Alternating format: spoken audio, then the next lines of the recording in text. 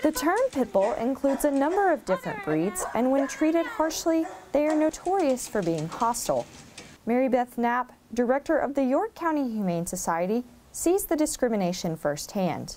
Everywhere I go, I see people walk across the street when I have a pit bull at an event. Um, they are the sweetest, gentlest creatures, um, just like any dog.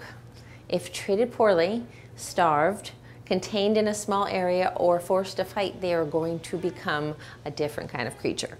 Newly drafted South Carolina legislation makes pit bull owners face possible penalization for choosing not to alter their pets. House Bill 3709 aims to help control the pit bull population by forcing owners to pay a $500 fee if their pet isn't sterilized and registered.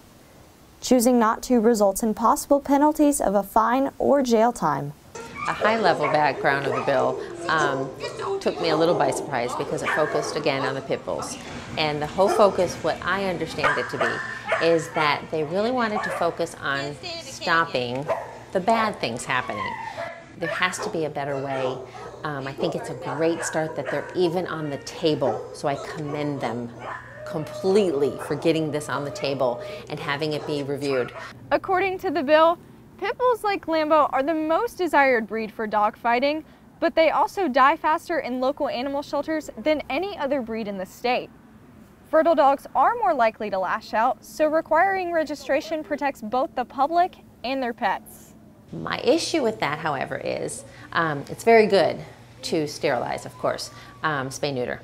Um, but we should say all pets should be spay neutered. Um, I don't know that finding someone in those areas um, will help us resolve this issue we have.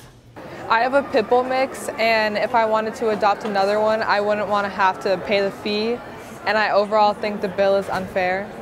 At this time, the bill is still awaiting decision. Reporting for The Buzz, I'm Ellis.